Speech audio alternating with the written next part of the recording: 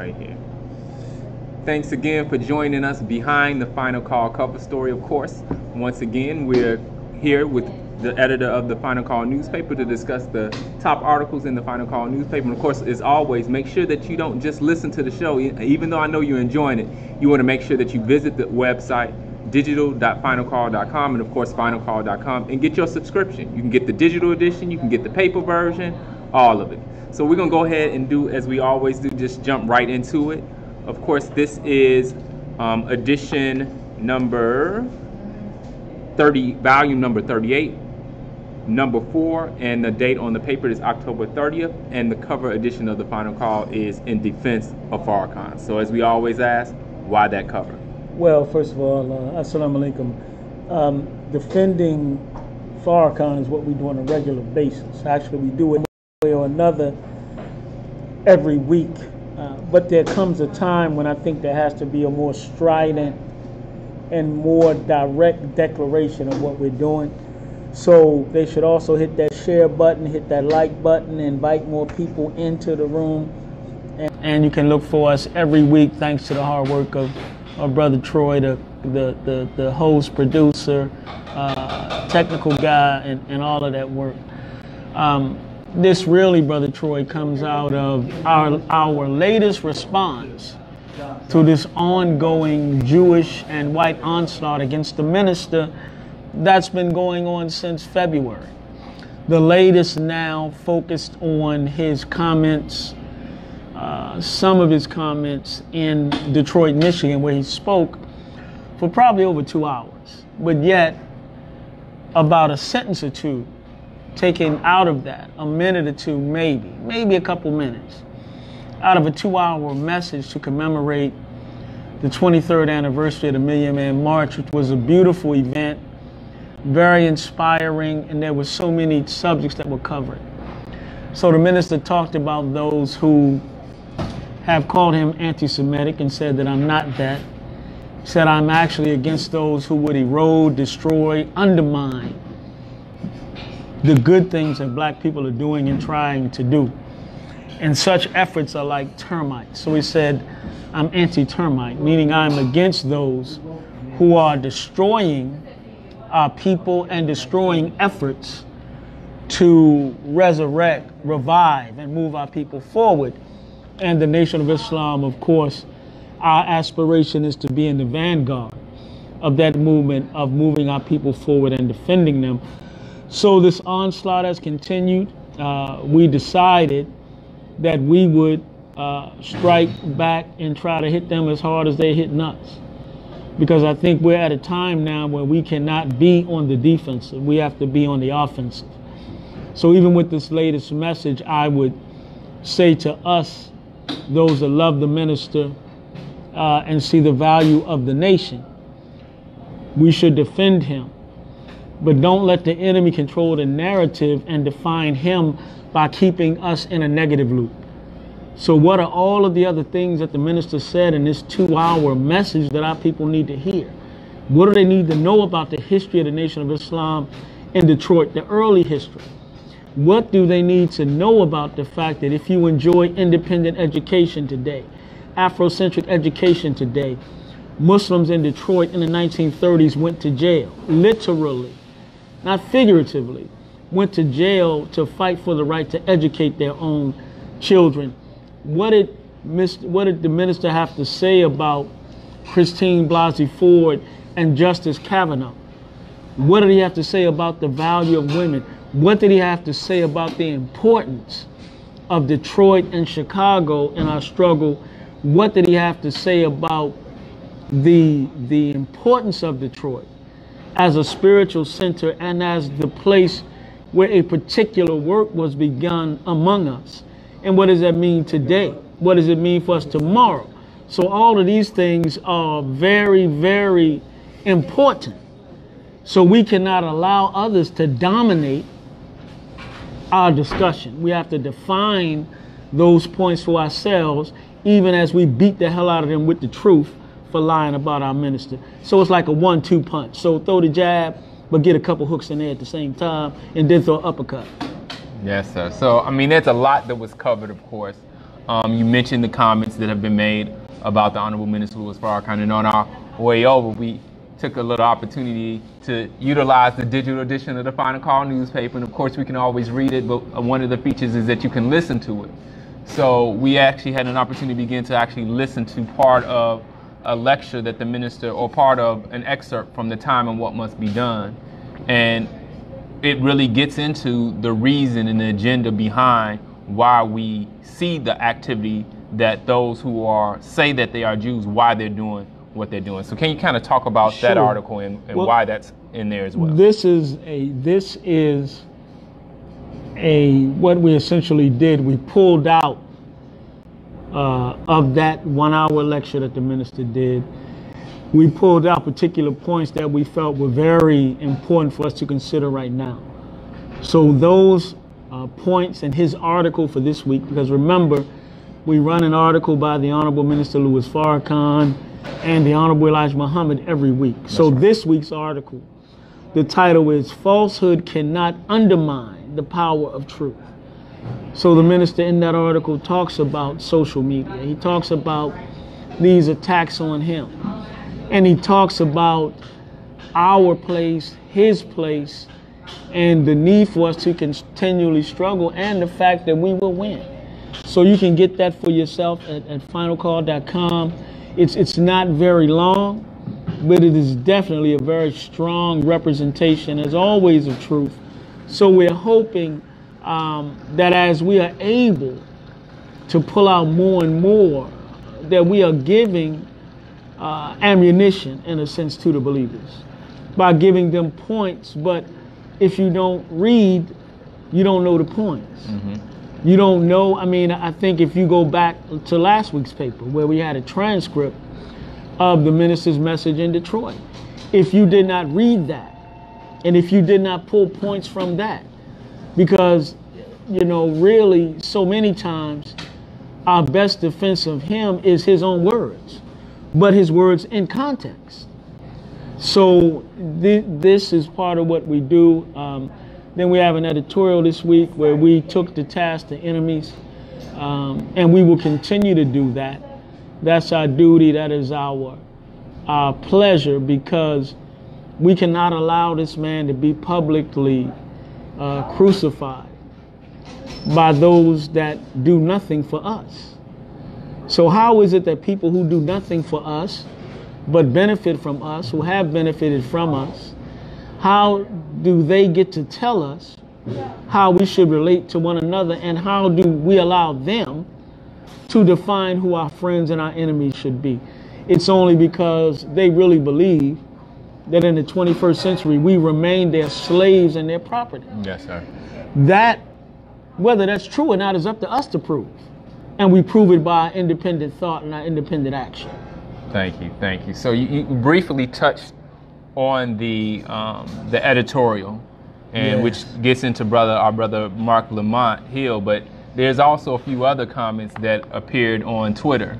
Yes. Um, there's some a few tweets that actually got out um, in discussion, and if we look at the cover story, there's there's four individuals that are on the cover. yes. Um, why, why, what did they do? Why, why is there um, these four individuals that are on the cover of the paper? Well, thank you for asking. so we have on the cover Mr. Jonathan Greenblatt, who is the head of the Anti-Defamation League, which we emphatically charge as anti-black. We have Joy Behar of The View, who was one of those who joined this chorus of condemnation of the minister. And she actually said something publicly, Miss Behar, that is really just simply not true. She said that Jews played no role in the slave trade. Absolutely false. Absolutely false. You can go to Ghana and other parts of Africa right now, and you can go to the slave dungeons, and you can see carved in the doors the Star of David. Let alone if you if you read the secret relationship between blacks and Jews, you will find that there were Jewish slave owners. Mm-hmm. There were Jews who financed the slave trade itself. So then this again is a lie that we have to refute with truth. So that's Ms. Behar. Then we had Mr. Trump's top apologist, Alan Dershowitz, the Harvard or former Harvard professor who has been uh, attacking the minister, and he's been on Fox News declaring that anyone who ever looked at Louis Farrakhan, anyone that saw a picture of Louis Farrakhan, anybody that ever said the name Louis should be condemned. Basically, that's his argument. If you just said Louis, if you said Lala, you said anything that was close to Louis Farrakhan, you know, you need to be condemned. This is his position. Because he's trying to defend that which is indefensible. And that is the exploitation of us as a people. He has continued to echo these false charges against the minister. So, since they're so public in their lies, we thought we should present to our people who they are and let our people discover and think about for themselves what they want to what they want to listen to and who they want to hear from. Then lastly, we have Miss Chelsea Clinton, formerly the first daughter, the daughter of uh, President Bill Clinton and First Lady, former First Lady, Secretary of State, and failed presidential candidate Hillary Rodham Clinton. So Chelsea, who's now grown up, joined those who condemned the minister and mischaracterized what he said. So we decided that since she would step into the fray, then we needed to put her front and center. And so that's why she's on the cover. So we want to expose these people because in the ordinary life of black folk, you don't come into contact with these people. If you're living in the hood, you don't come into contact with Jewish people. You only come into contact with them when you get to a certain stage in the society. Mm-hmm. So whether it's that you are beginning to show potential as a young person and they draw you out, or you begin to have some influence, some power, some voice in in in political, social, cultural affairs. You become an entertainer. But you only begin to interact with them when you reach a certain level. So we wanted to be clear on these are some of the people, and we wanted to be clear on what the minister said, and we want to present our people with a clear information, understanding, and choice. Now, you want to listen to these people who you don't even know? Or do you want to listen and decide for yourself after listening to a man who has served us over 62 years and as brother uh, Marc Lamont Hill, who was attacked himself, a man who exhibits profound love for black people. So you be the judge. And if you decide to go with your enemy, then go on to hell with him and enjoy yourself. But we're not here to try to force you. We're here to try to open a dialogue with our own people and those who would be willing, and we're here to defend a man that we know has been unjustly attacked and assaulted, and we just simply are not going to stand for that. So if you come for Farrakhan, we coming for you. Not physically, but in the realm of intellectual thought, discussion, at least not right such. now. Such. Well, as long as you don't put your hands on us, we won't put our hands yes, on sir. you. That's our teaching. We are never the aggressor, but we reserve the right to protect the life that Allah gives us because we only have one. But in 40 years, none of us, there's no record of us having harmed one Jewish person. Mm-hmm. We haven't touched a hair on one of their heads. So we want to be clear that is the history and that is the truth. So when these anti black folks get to talking, we want our people to understand and to look at the history itself. This is, you know, and I'm going to try to wrap this up, Brother Troy. But if you don't go back to 1983, when many of the people that may be watching right now probably were not even born, that's where this comes from. The minister has, and the other thing is this the minister did not call himself Hitler, they called him Hitler, which is an absolute insult from the beginning. And the minister said then, and it started from his defense of Reverend Jesse Jackson, who was running for president and calling for a balanced policy in the, in, in the Middle East. So he was attacked by the Jewish community and attacked by the Zionists.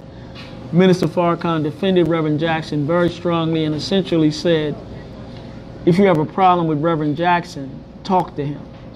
We can afford to lose an election. We cannot afford to lose our brother. Now, if you think Barack Obama got death threats, what do you think Jesse Jackson was getting in 1983? 1984? What do you think there were groups like the Jewish Defense Organization, the Jewish Defense League, and others that were weapons carrying? They some of them even got into fights and episodes of violence with one another. So this was a very serious time. So the minister spoke as a man should speak in defense of one that he loves. And as a result of that, because you don't like the fact that he said you need to dialogue with Reverend Jackson, you have the audacity and the gall to call this man who's never harmed anyone a new black Hitler? How dare you? No, Hitler belongs to white folks. He's your creation. Don't ever associate that name with this man, Louis Farrakhan. They have nothing in common in the sense that this man is trying to hurt or harm someone. As a matter of fact, to wrap this up, we know that Hitler and the Nazis gassed our people in Ethiopia. Mm-hmm. We know that right now in Namibia, we have some of our brothers and sisters, a whole ethnic group was almost destroyed by the Nazis. They are seeking reparations right now, and they still have not gotten them to this very day. This is all, of course, during World War II. So don't ever mention the minister's name and that evil killer's name in the same breath. He is a uh, he comes out of the loins of white folks, and that's where he belongs. So you take him. He's not ours, he's yours. Yes, sir. Thank you, thank you, thank you. Um, it's actually just jumping, of course, um, even though we have some signs of individuals who are acquiescing and allowing the, the enemy to pressure them. Um, I also had an opportunity to look through the final call and was pleased to see that everybody's not doing that. No. So, in the latest edition of the final call, there's an article and it shows that our sister Rihanna Yes. Um, took a position. Can you can you speak on, on, on what happened with that? Well, you know, Rihanna, I think, has that good Jamaican blood. so she comes from the land of Marcus Garvey, and she comes from the land of Bob Marley, and she comes from the land of the Maroons, and she comes from a people who have been strident in their fight against white supremacy. So basically, they, they tried to offer her some kind of contract or whatever to, to perform at the Super Bowl, and she said, no, thank you. I stand with Colin Kaepernick. Mm-hmm. So this is again, now but just remember, Brother Troy, at one point, black entertainers, black athletes were not saying anything. Nothing political. So when we see Rihanna stand up, when we see brothers like Colin Kaepernick stand up, when we see people like LeBron James stand up, when you see people like Steph Curry stand up, um, when you see these people, our people, you're witnessing the resurrection of a people. You're witnessing a people beginning to come into the knowledge of themselves and their power and their right to self-determination. So likewise, we have an article this week, an interview we did with um, author, academic, um, analyst, journalist Marc Lamont Hill, where, um, you know, uh, basically a few days ago, there was a whole thing in the media about him and and him be, false, him being falsely characterized as condemning the minister, which he absolutely did not do. And if you if you if you actually look at the news articles and what he said versus what the versus what the headline says, mm-hmm. you will find there was no condemnation of Minister Farrakhan. But what there was, there was a difference of opinion on some issues, which, you know, speaking intellectually, um, that makes sense even if I don't agree with your disagreement with me. But if we disagree and we're willing to sit down and reason together, we can come to a point of understanding. And if I have the truth, then I should be able to um, I should be able to convince you through dialogue. So the minister has, has um, I'm sorry, so Marc Lamont Hill had a great interview. We had a very interesting interview. And the headline is Debate dialogue and profound love of black people. Mm-hmm. Marc Lamont Hill talks about Minister Farrakhan, the Nation of Islam, media controversy, and the right black folks have to engage one another. So what we tried to do was to give brother the opportunity to respond in his own voice, in his own words, and speak for himself as opposed to having others speak for him. So um, that's in the final call. It's on finalcall.com right now. So get it, read it. The editorial is on Final Call right now. Get it, read it, see what is being said. Let us know what you think, um, and get in the fight. Don't stay on the sidelines. Yes, sir. And fight in the best manner. Don't curse people out, even though you may want to. And even if they curse you out, but we have supreme wisdom and truth. And if you're like me and you're not quite sure how to do that sometimes, follow the leader. So just look at some of the things Minister Farrakhan has said. And if you can't uh, get it right, just re- retweet, repost, copy and paste something that he said. But at least you will be contributing to the defense of a man who has defended us for longer than I've been alive.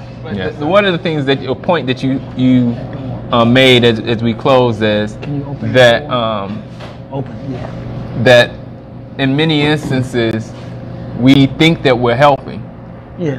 and m- my actions may not be um, as helpful as we like, even though they may be good intentioned.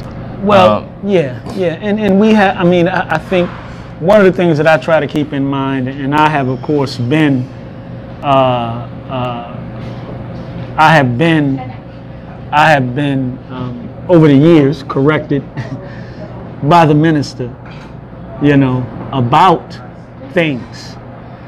Um, when you're trying to help a man, you have to try to help a man in the way that he wants to be helped right.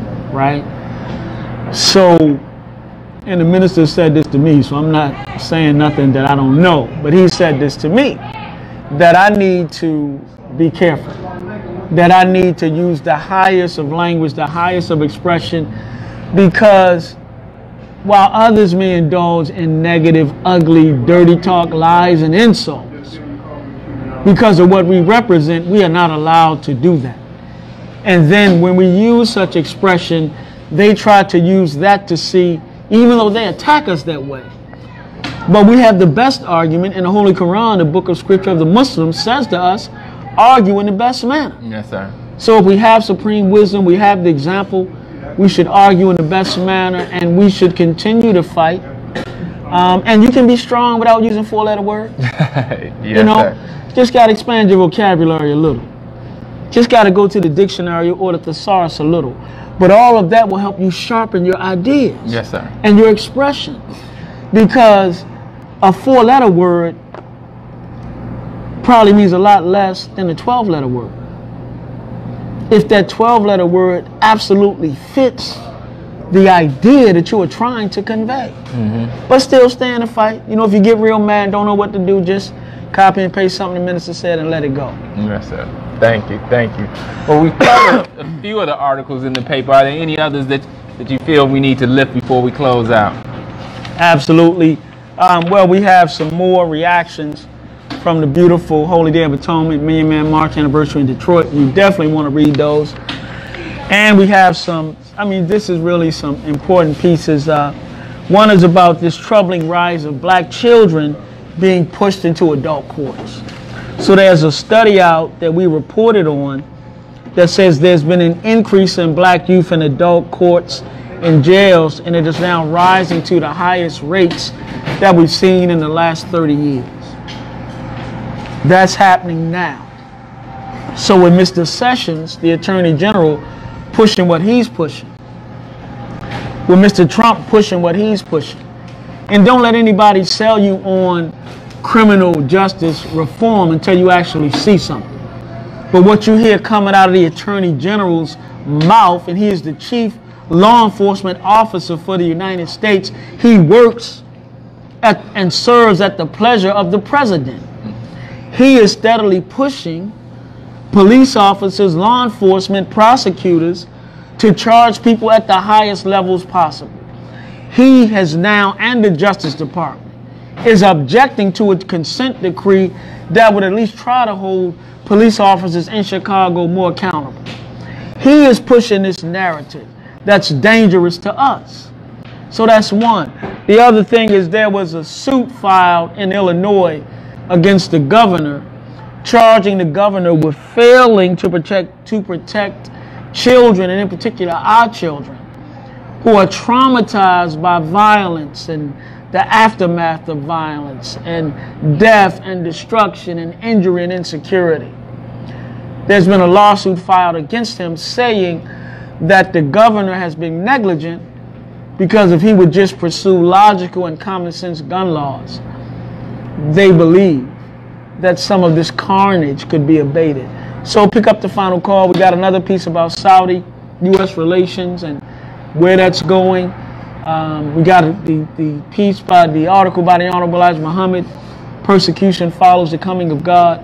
So get the final call. Go to finalcall.com or uh, and if I could quote the minister, get on the side of truth and stay there. Yes, sir. Thank you, thank you, thank you, thank you. Um, we have one last thing that, of course, you know, it's good for us to be able to hear and read what's going on um, with the final call. But the difference from the final call is there's two words in that title. Mm. It's final call, and the call is not just calling you to read the paper but we need you to be involved in this mission as well. So, in addition to that, we, um, of course, the minister's lecture from Holy Day of Atonement was on YouTube on NOI, the Nation of Islam's um, YouTube channel, and it's been taken down. Um, and those attacks have increased not just verbally, but they actually are trying to stop that message from getting out. So we encourage you, we encourage you, and we need your help write to and take the opportunity to post on YouTube and ask them that you want to hear that lecture.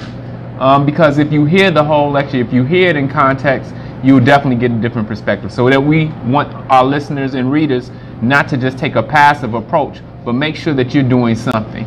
Um, in addition to that, if you weren't able to watch it on um, YouTube or on Facebook, you still have the opportunity that you can go to noi.org slash webcast and you can watch that message, not in the, the, the bits or the parts that they've taken out and have put on social media, but you have an opportunity for free, for free, is to watch that whole lecture in its entirety. And if you do want to support, we still encourage you, you can purchase that lecture on MP3 or the video by going to store.finalcall.com. I think I said all that I have to say. Are there any other things that you want to close out? Well, you know, we, we thank Allah for really being able to serve this cause. But again, um, share this message. Click that little button so you can get um, the alerts and keep following us. And we will keep trying to, we will keep delivering the truth to you by Allah's grace. Thank you for tuning in.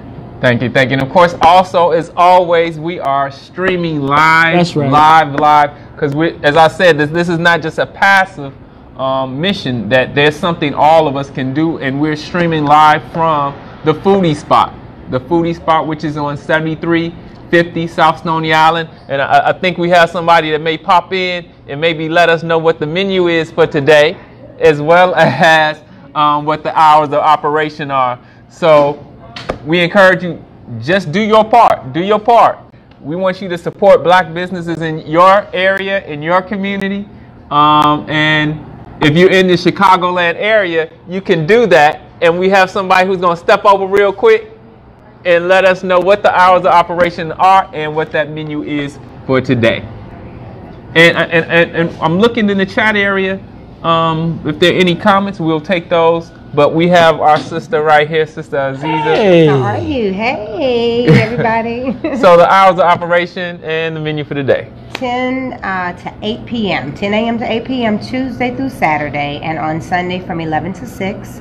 And as usual for lunch, we have four signature sandwiches: a vegetable panini, a fish taco, a jerk, a jerk chicken gyro, and also black bean burger, which is very popular with us right now. With your lunch menu, you can also get one of the sides, which is the macaroni and cheese, black beans and rice, curried cabbage, vegetable medley. And then for dinner, the chefs always cook up something special. I'm actually waiting for Chef Raheem to get in now to tell us what he's going to do with the fish and the chicken. He either does a combination of jerk chicken, jerk salmon, or he'll do a ginger, honey, salmon glaze. He gets very creative, but there's always a chicken and a fish in the evening, and normally there's also an entree for the vegetarians, but not always. Now you got cakes and pies and all this Oh, stuff we've too, right? Delicious cakes There you go. pies. Uh, we've got the custard bean pie from Paradise Pies with all these different unique flavors from mango cream to banana cream to caramel cheese, which is my favorite, uh, to the blueberry cream, and then of course the original pie as well from Paradise Pies. And then you've got the caramel cake from Sweet Love, uh, the zucchini raisin bread, banana bread. We've got a banana mango bread. We've got a strawberry cream cake. We've got banana pudding. We've got farina muffins. We've got the sour cream pound cake. The list goes on and on. Caramel chocolate chip cookies. We've got cupcakes. Brother Michael's in the back. Cupcakes. Got, you know, hollering out as usual. Brother Mike, we on Facebook. We're not on Facebook Live. What are we on? We're on Facebook Live as well as YouTube. As you, as well as YouTube, okay.